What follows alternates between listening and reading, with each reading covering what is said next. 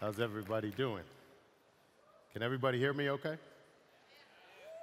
All right. Let's, let's get this started.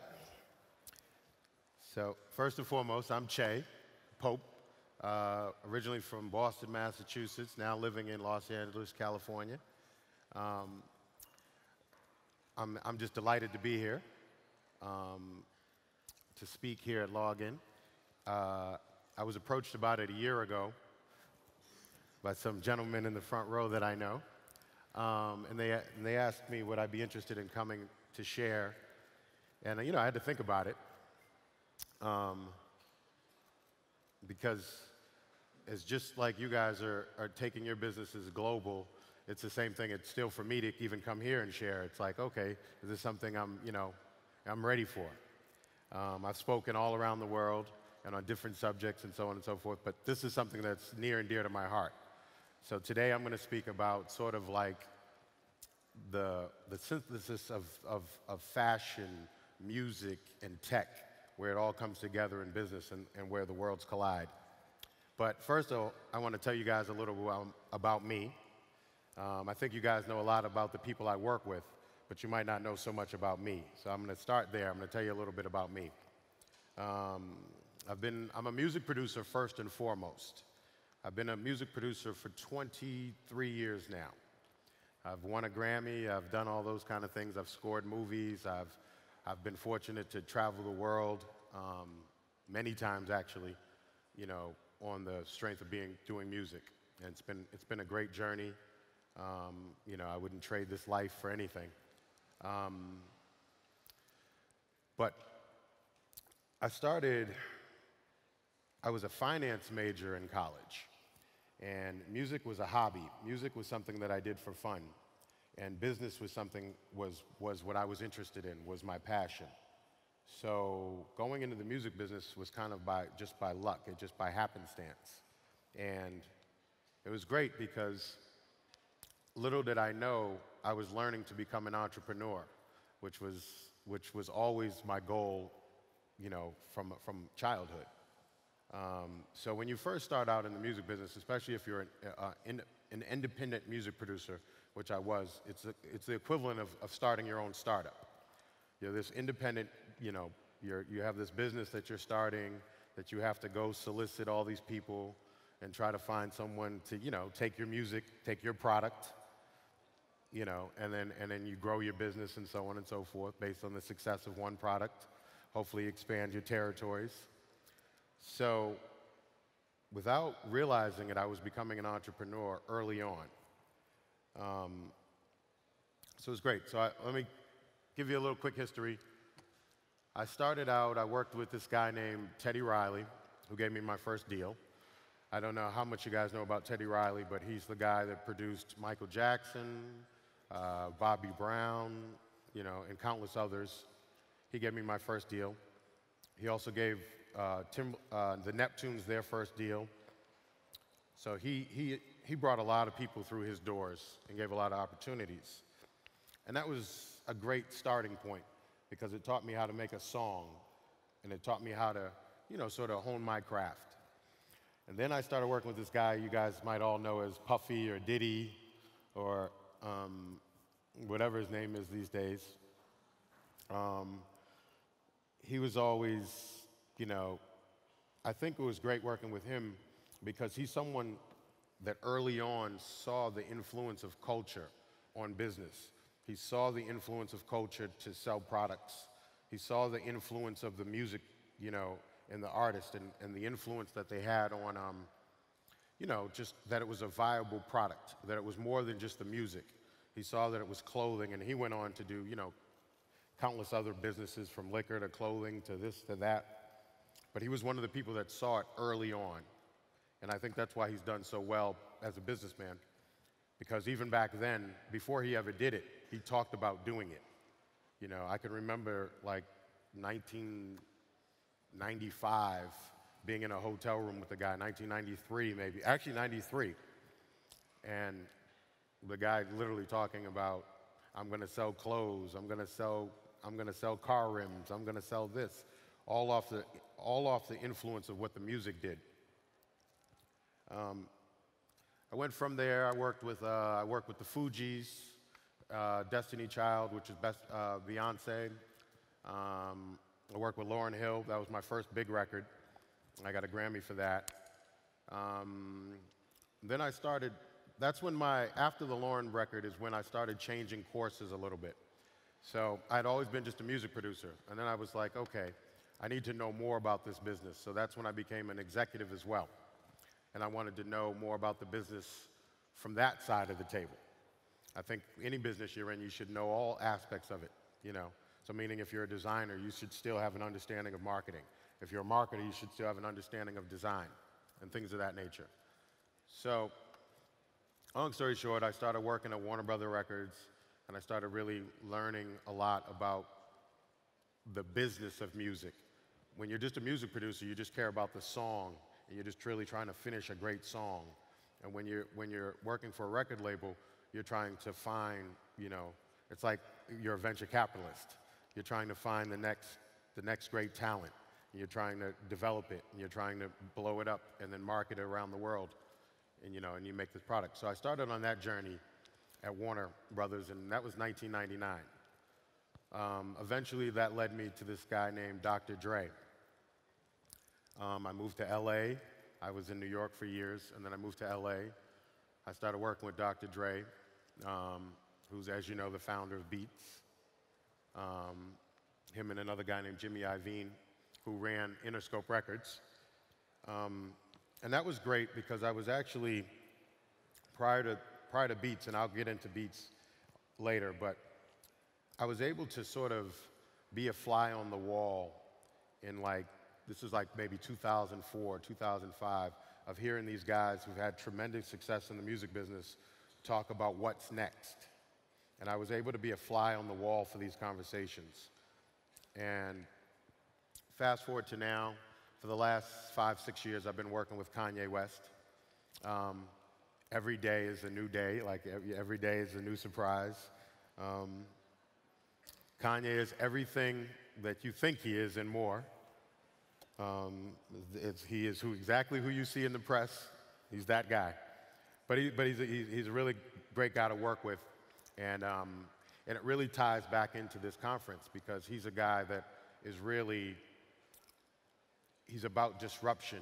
He's about forward thinking. He's about, uh, you know, entrepreneurial spirit. He's, um, and that's, that's one of the reasons I ended up wanting, wanting to work with him because I, I was at a place where I needed a challenge, where I was looking towards my future, and I wanted to challenge myself, and he was definitely a challenge. And it's been great. It's been great. It's, it's, it's a roller coaster, but it's been great. So now I want to tie it back into wh- why we're all here. Um, so I was in a bar last night. I just got in like at midnight last night, and I, I, met someone and they were like, you know, why are you here? And I said, um, you know, I'm gonna, I'm gonna speak tomorrow. And they're like, well, why would you come here to speak? Of all the places you could go, why would you come here? It's so small. Like, it, how is that important to you and your business? It's such a small market and so on and so forth. And so I never even thought about it like that. I thought about it in first and foremost, the reason that I was drawn to this area is there's an amazing company called Vinted that um, a really good friend of mine put on my radar. And same as in the music business, I'm just drawn to talent. I'm just really, I just want to, you know, it's like if you, if, you, if you know someone that's really talented and amazing, you want to tell people about them. You want people to know about them. And so that's why, you know, I discovered this company, Vinted, um, uh, which was founded here in Lithuania um, by a 26-year-old woman, Milda, and her partner, Justas. And they, they, they, they, had this great idea. And, you know, they partnered with Mantas, and they, and they created this, this business that, what, just, from, just from hearing the idea alone, I wanted to be involved because I knew it was a, I knew it was a global idea. And it doesn't, to me, it's not about where you're at or where you're from. It's about, you know, what, you know, you know, what your idea is, what you can do with it. You know, um, it doesn't, I'll go to the ends of the earth to speak, to participate, to, you know, it's, it's nothing to get on a plane and come somewhere, you know. Um, so to answer the person last night, I was just, I was like, well, this is a great opportunity.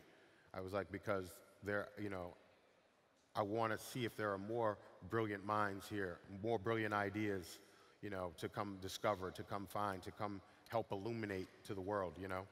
Um, I think that's my talent is that I can find talent and then I can network talent. I can bring people together, you know, and, I, and, I, and that's what I do.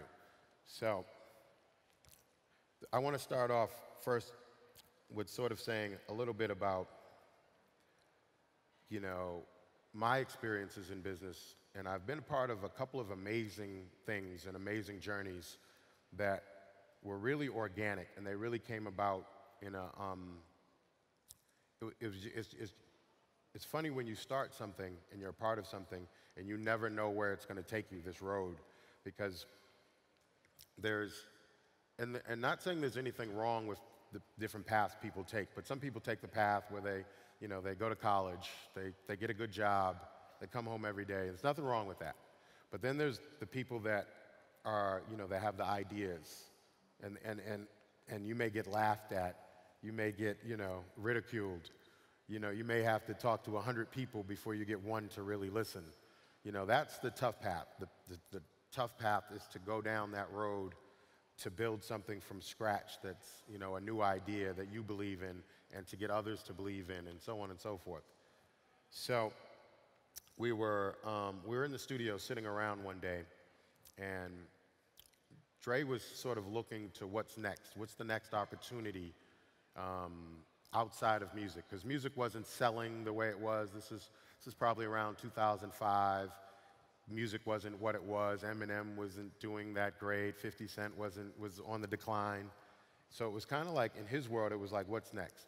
Okay, and so when you're in the rap business, people come at you with a clothing line, they come at you with a liquor. There's a lot of, lot of like these celebrity deals, or if you will, and the stereotypical things.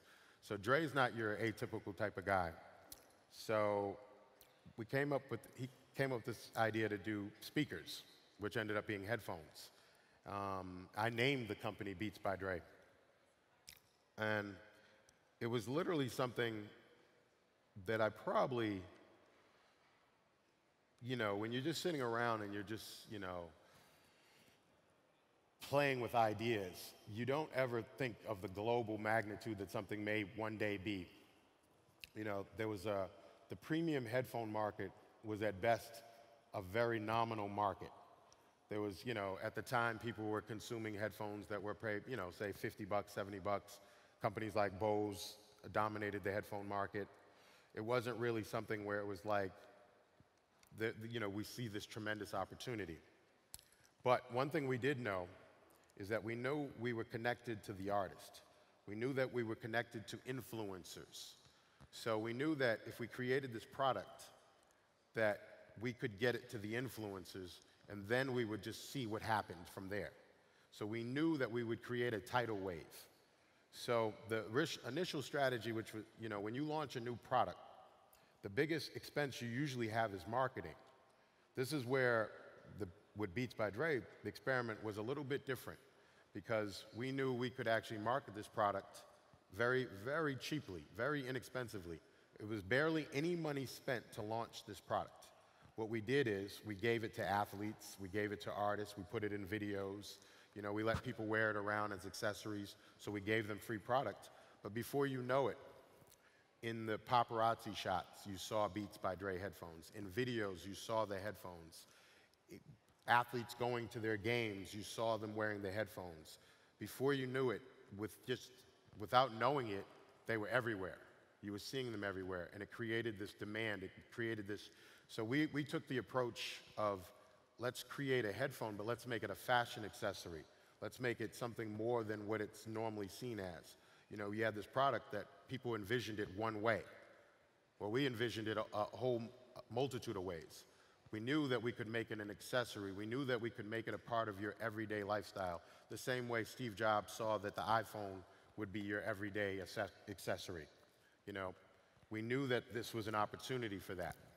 So that's the way the, the, the, sort of the company was born out of, and that's the way the sort of company was built. It was built more on the culture and using the you know entertainment and celebrities and and and that's not every product is not great for that, but that was great for that product. And then there was a lot of um, it's funny because then then we got into the technical side of it where there was a lot of criticism. The the the headphones had more bass in them. Um, so, but but then we, you know, the idea behind the headphones is like, well, who are we making them for? You know, a lot of the idea is a lot of the music. You know, we know everyone's listening to music. A lot of it is MP3s. MP3s is a is a it's a very um, smushed down version of of a track. Normally, when we mix a track down, you know, it's we'd love for it to be heard in its true natural form, but that's not the reality with the internet. So what happens is things get smushed to MP3 format because it's easily shareable, and therefore the quality is not the same.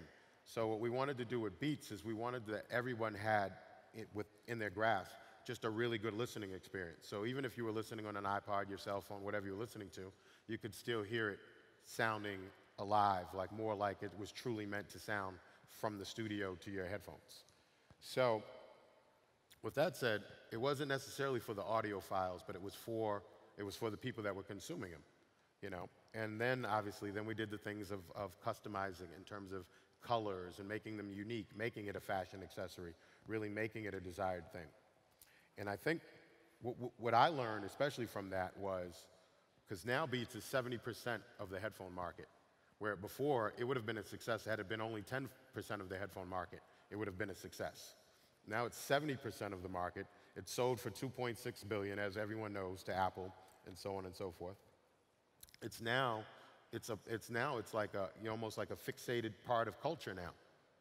You know, and this started in a recording studio in the Valley in LA where people just, you know, same thing, just sitting around, playing around with ideas, you know. And 10 years later, it's a billion, you know, multi-billion dollar company. And it showed me the power of influence. It showed me the power of of how, what an idea can be, and then you, you know you, you, take an idea, you expand it, you, and then you continue to expand it, and, and, and then you make it a global thing. It wasn't early on with Beats. It, it immediately was a campaign to go to Brazil. It was to go to Europe, to go you know to go to Scandinavia, to go to Asia. That was an early part of the of the strategy. So it wasn't like, oh, let's make it just a U.S. thing, and then if it blow, does well there, even before it was successful in the US, it was already, the strategy was to go global. So tying that into, you know, the opportunities that I think exist, um, and I use Vinted as a good example because I was amazed that this 26-year-old woman with an idea was able to attract these major, major venture capitalist firms. There's three major venture capitalist firms that invested in Vinted, which you know, one's German, uh, one's based in London and the U.S. One is another one is the U.S. And these companies are, you know, they're looking at startups every day, every week. They have. I went and visited the office of Insight, which is one of the companies, um, and I do a lot of business with Insight. I went and visited their office, and they have scores of analysts you know, you walk out, you, you think you're in like almost an investment firm because there's scores of analysts just, you know, lining the things. And so I went around to the analysts and I basically asked them, you know, what, what do they do? What, what is your daily, what is a day in your life? So every day these analysts are looking, for the, looking at startups around the world to find a viable startup for this company to put their, their fund money in. They're on their about eighth or ninth fund. And each fund is worth, you know, I don't, I don't know, hundreds of millions of dollars that these, these guys do. And they're very successful at finding, identifying, you know, a company that has potential and putting hundreds of millions of dollars in it. And then that seemed so daunting before to me. It, it used to seem something like that seems so impossible. Like when you hear these stories about people, they, they wrote a business plan or they started a business and next thing you know, you know, you, you've seen the Facebook story, you've all seen the Google story where you've, you started this, you had this idea, and you, you hear about someone putting 20 million into something, 50 million, and you hear about this wild success they had. And a lot of people, like myself, w- w- is very like, wow, that's so far fetched. That's so, you know, that's not my reality. I don't, that's not, you know, but it really can be. And then that's what Beats showed me. Beats showed me that anything is possible, that all it takes is an idea. And then maybe you, meet, you might have to go to your best friend or who's the smartest person you know, but you know, you, the, all it takes is an idea and it takes to have the, the, the balls, if you will, um, to, to, to believe in it, to move forward with it. So fast forward to working with this guy named Kanye West. So when I first started, this is a funny story. So I've known Kanye for years. The music business is really not that big. Um, I know this Middle Eastern billionaire. And he said, I like this guy, Kanye West. Um, he's trying to do something in clothing. I want to invest. I have $7 million I want to invest in his clothing line. So I said, he said, Do you know him? I said, I do. I'll introduce you. So we go to meet with Kanye. He's putting on a fashion, he's preparing to put on a fashion show in Paris. This is his first fashion show in Paris. So I'm, I go meet him with him. We sit down. I said, I, you know, I have this guy who wants to meet you. He wants to invest in your clothing line. So Kanye being Kanye, Kanye did not have a business plan. Kanye did not have an infrastructure. Kanye did not have a clothing business. Kanye just was putting on a fashion show with his own money and his own, you know, and, you know, and so I was like, so the, needless to say, the billionaire was like, I can't invest in him, Che. I can't, like, he doesn't know anything of what he's doing. He, you know, I can't invest in him. So I said, I understand. So Kanye said, well, hey, I've got this record label. You want to help me with that? So I came involved. I got involved, started helping with the record label. But what I realized, it's the same thing that I learned from the Beats by Dre experience. I realized that this guy, he had something special in terms of his effect on culture, his influence on the youth, and not only the US youth, the global youth. So I, you know, the more I was around him, the more infectious I learned that his personality was. Yes, it can rub people the wrong way, but he's out there. He's very, he's very, he's not afraid to put himself out there. And then I realized that's gonna, that's gonna be, one day that's gonna be really powerful in a space of a, when you start putting a product out there. So same thing, we started looking around for, you know, whether it was gonna be clothes, how we were gonna do it. He had a bad experience with Nike. Um, same thing, they gave him the little celebrity deal, which was a little small percentage. Um, and this is why I do really respect him. He knew his value. He knew his, his value in the marketplace.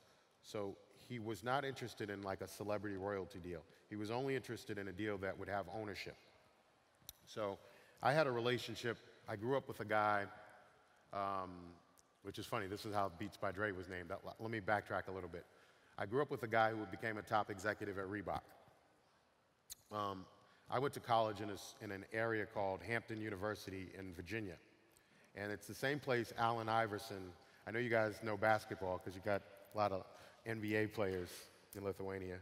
Um, so this guy, Allen Iverson, played basketball there, who I met when we were in college. And then I also knew Todd, uh, who I grew up with, who was an executive at Reebok. So Todd and Reebok signed Allen Iverson early on. So I had this long-standing relationship with, with Reebok. And it turns out Reebok, along the way, was purchased by Adidas. So fast track, this is where these relationships come in handy and all this networking Kanye's looking for a home, I say, well, what about Adidas? His first reaction is, I think they're corny. I said, well, I said, anything is corny. You know, you have to bring your, your ideas and, and you, your, you know, your, your mindset to the table, and you have to partner with them and join them. So I convinced him to do a meeting with the CEO. Um, so I invited the CEO of Adidas to a concert. We were in um, ooh, I think we were in Copenhagen. And I invited him to a concert. So the same thing, the CEO of Adidas is like, you know, we can't do business. This, this guy, this guy's out of control. He's, you know, so Kanye's on one side. He's like, oh, I don't want to do business with them. And the CEO of Adidas is like, I don't know, this guy's crazy. I, I'm, I'm scared of him. So I get them together, they hang out. It actually goes well. Um, I've had other meetings with Kanye. I'll give you one funny one where we met about a headphone, and then literally in the beginning of the meeting, he threw the headphones across the table and said, I don't care about headphones. So I didn't know how this Adidas meeting was going to go. So we sat down. The first thing he says to the Adidas is, he says, I don't like Adidas. so I was like, okay. Um, so I stood up, made myself a drink. But what, what ensued was, was, a really, was a really fluid dialogue about um, what he thought he could bring to the market in footwear and what he brought, thought he could bring to the, to the market and bring to the world.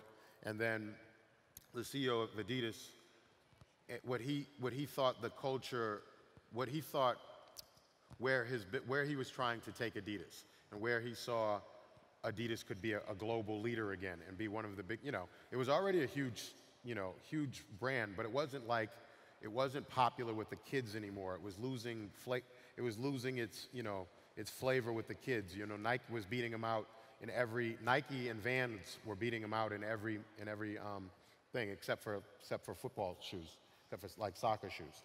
They were literally beating them in all lifestyle mark, you know, markets and so on and so forth. So I got them to just find a middle ground of conversation. And that conversation went on for a good six months. And they were able to reach, I was very surprised, but they were able to finally reach some starting point of an agreement. But I knew that all we needed to do is if we could close some deal, that once we created something, that I knew his influence on culture would take over from there. So I just needed to you know, really just nurture the relationship to get the initial deal done. So we got the deal done. Then Kanye being Kanye, he sources materials from all around the world. So, you know, there's materials from Portugal, there's, you know, soles from this part of the world. And obviously in sneaker manufacturing, that's not necessarily the best idea. So we, we, we get ready to launch this sneaker. There's a demand of a, hundred, of a million orders. We're only able to deliver 9,000. Um, so, you know, but that ended up being a good thing because that just made people want them even more. That made the, you know, that made the demand stronger. That made, that made the eBay resale value market go crazy. So now you started having these sneakers that were, you know, cost $200 being resold for thousands of dollars. And, you know, I wish I would love to say that that was planned, but we actually were trying to meet more of the demand, you know, we wanted to, but now we're doing better with sourcing and things of that nature, and we can meet the demand.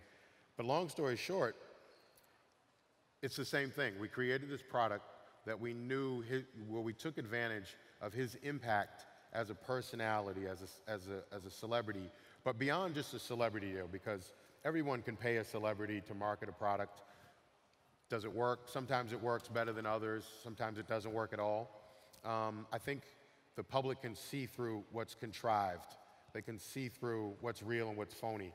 And I think we, we've always come from a place where it's, it's definitely really authentic, where, where, where we really we're really part of the culture you know, and that's where the music side of it really helps because we're really, you know, we really work with the youth. We're not, we don't, you know, when we're talk, when we're creating a product, there's as many, you would be surprised at the amount of young people that have input. You know, that people that, you know, he'll ask anybody. He'll ask a kid, a 17 year old kid who looks, who, who Kanye will be like, oh, that's a cool shirt. It's a cool shirt. What do you think of these sneakers? because he wants, you know, it's really, it's really the youth that influence what we do. And then, and then we go from there and we create products that we, you know, we find a, a really good business model to market and bring it to the world. Um, now, tying that back into Lithuania, I think I love the idea that you're creating this conference where it's okay, we're going to create this conference where we're going to talk about opportunities and growing businesses and startups out of Lithuania and I think and out of the Baltic states. And a lot of people I think are wondering like, how do I enter the U.S. market or how do I, you know, expand out of this market? Um, first and foremost, it obviously starts with what business you're doing and what product you have. Um, I'm going to use Vinted as an example because it's the business I'm involved in. It's the business I'm, I'm on, the, on, the, on the board of. And it's a business that I believe that I could bring value to it, expanding it into the U.S. market. Um, Vinted is a, is, a, is a clothing resale app. But beyond that, it's also somewhat of a social community that is the target audience is 14 to 24 year old women. And the target audience in music, when we create music, is 14 to 24 year old women. So you see the synergy right there, right off the bat. So you see my interest. Um, the social aspect of Vinted in the app, the social platform is what's great because it's a conversation about fashion, it's a conversation about music, it's a conversation about boys and relationships and all these things. All the amazing, valuable information for someone that creates music and creates products and creates things. But what it's so interesting about them is their ideas are really a global idea. But from each region they go into and each country they go into, there's, there's nuances to that, to that country. So what works in Paris may not work in Italy. What works in Italy may not work in the US. What works in the US may not work in Scandinavia. So there's nuances to it. So those are the things that as you launch a business, you're going to have to know who you're marketing to and the nuances of entering that market. You know, there's, it's a different everywhere you go. Um, we found that, you know, obviously in France, where they're a very fashion-forward country, certain things are more important to them. They're looking for more unique high-end products, whereas in other places, they're looking for really good value. And, and it, it's this information that is, is so valuable to, to the business that you're creating or that you're starting. Um, for me, it's fascinating traveling the world because everywhere I go, music is consumed differently.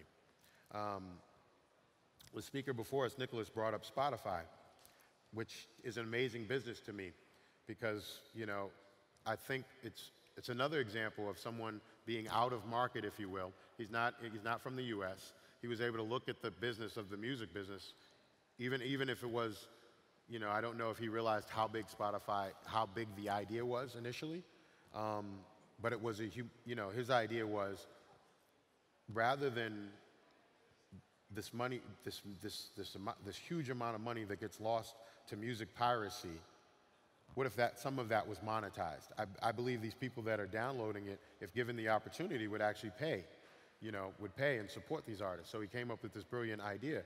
And it's amazing to me that people outside of the music business have the, are the ones that come up with these revolutionary ideas, a la iTunes, Spotify, Napster, and they're able to look at the music business. It's kind of like looking at a chessboard from the side. You know, when you're immersed in the business, sometimes you don't see, you see, your, you know, you're, where you're headed, but someone who looks at the, the business from the side sees something different than you see. And I thought Spotify is a brilliant example of taking a product from a region and making it a global, global business. Because he was able to initially, okay, cool, it worked in Scandinavia, but it wasn't necessarily received the same way. It was, it was resisted in the US for a while. And it was like, okay, well, let's, how do, how do, we, how do we modify to work in the US? How do we make it appealing to the US? Well, you make it appealing to the kids. You make it appealing to the youth. Once you get the youth, and they really focused on that market, that 14 to 24 market. And, and if you look at all the streaming services today, Spotify dominates that market. They really focused on that age bracket, you know, and that's how they were successful. So I really think, so any business that you create, whether it's from here, from Scandinavia, or even from the US trying to come here, it's really about understanding the market that you're entering and then how do, how do I enter that market? How do I compete within that market? And then how, do, how am I successful within that? I think it's really under the, the cultural nuances of entering someone's market, you really have to understand. And I think that's one of the things that we've been successful for. I mean, it helps with the music, don't get me wrong. The music is obviously how we, if the music, if we know the music is already working in Japan, then we know we have a market in Japan, you know. So any place where, where we're not successful, if the mu- you know, we try to take the music there first. And that's, that's the avenue I use. But, you know, I think in, in Vinted's case, they have a brilliant idea. They have a brilliant product. And it's just about, okay, how do, we, how do we enter this market and then how do we compete within this market? How do we, how do we service this market correctly? You know, in the German market where they're very successful, uh, their, their Series C funding came from the Burda Group, which is the German media group. So now they're able to leverage this platform within the German market. So now you have this German media conglomerate that can help leverage their platform to, to be successful in Germany. So I think it's these sorts of strategic partnerships that you make along the way with your business that is the way that you really, you know, meaning maybe you have to do, maybe if you're trying to enter the, you know, the British market, you hire a British PR firm. You don't just think one PR firm can just service everybody. You know, you hire, I have a new artist named Casey Hill who we, who we launched. She, you know, right off the bat when we first put her out there and just threw a little information out there, we had a lot of feedback that she looked European, that she looked like a model. So my natural thing was, okay, cool, we need to put her out in London first. So we hired a British PR firm. You know, she's from Arizona, but everyone thinks that she was from Europe. You know, it's, it's, it's, strategy, it's strategic. It's very seeding how we marketed. You know, we knew she looked like a model, so we engaged Vogue early, and we, we, we pitched her to Vogue. We pitched her music to that place. So you really work to what your business strengths are. You really try to, you know, you really emphasize those strengths. And then you really, and you're very strategic about how you enter a market, how you're successful in that market, and how you expand. Um, I know I'm a little all over the place, so I want to bring it back to make sense. I just have so much I want to say. So, if, you know, I'm enjoying being here with you guys. That it, it excites me to see businesses and startups from all around the world um, being successful and growing and making an impact and being in the US market and so on and so forth. Um, I spent time with Daniel, the founder of Spotify, and we were supposed to initially meet for 15 minutes, and we ended up meeting for two and a half hours. And the meeting was not even about the music business. The meeting was about, we ended up meeting, and it ended up being about life, and it about being about culture and family. And, and it ended up being about how we can utilize tech and utilize innovation and, and, then, and then create products to make people be able to enjoy their lives better versus, you know, I, a lot of things are solutions. You know, people try to find a better way to do something, a better way to listen to music, a better way to consume this, you know, a faster way to buy stuff where you can, okay, I can just go to Netflix and watch a movie. I can just go to Amazon and buy products. It, you know, a, a lot of it is about, you know, just immediate gratification. But those products to me that are about like enhancing someone's life and quality of life, I think that's, that's great because, so for instance, Spotify, you know, at the core of it, there's two real core things of it. He wanted to help musicians that were losing money.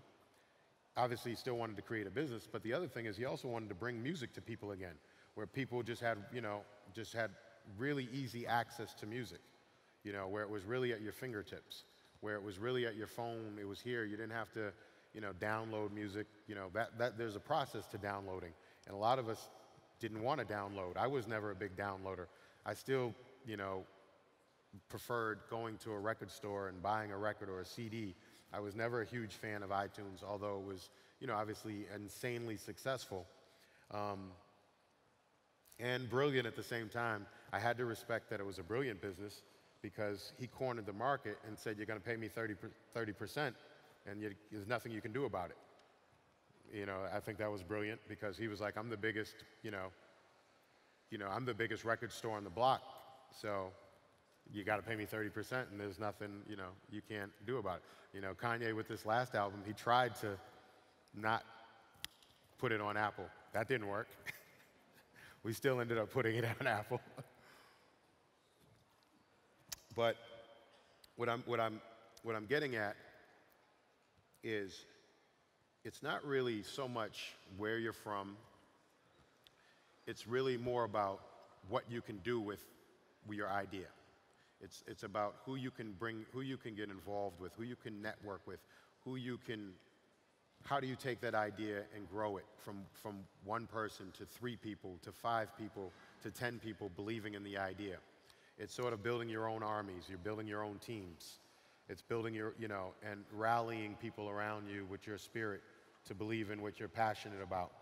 Um, it is utilizing innovation because they're tools for you. They're tools for you to do things better. Like, you know, right now there's a company in Helsinki I'm looking at. It's an amazing company.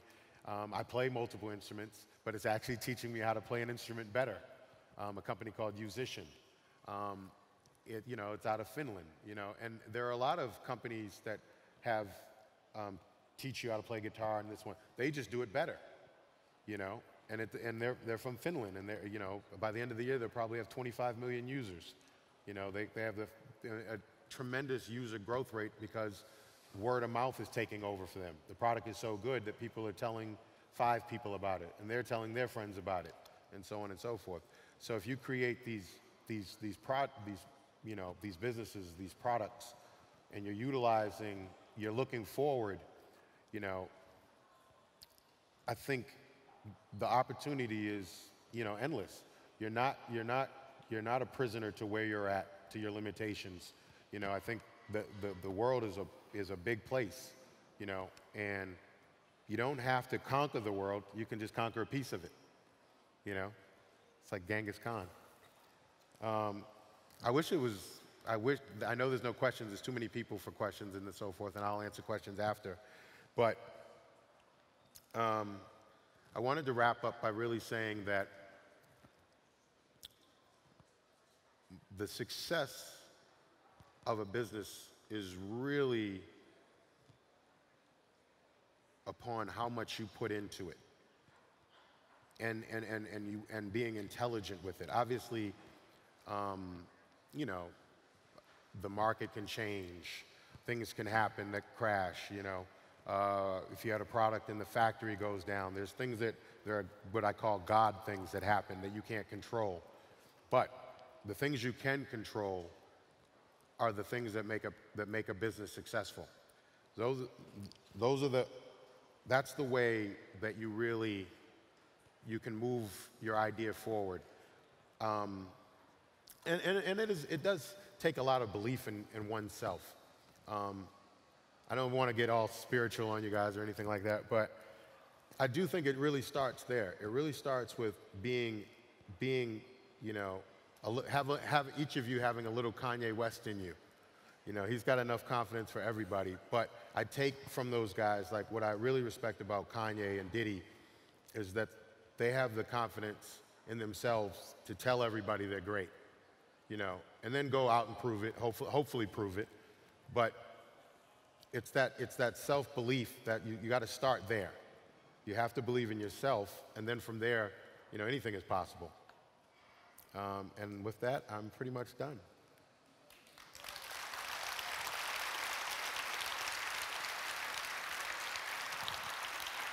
Thank you.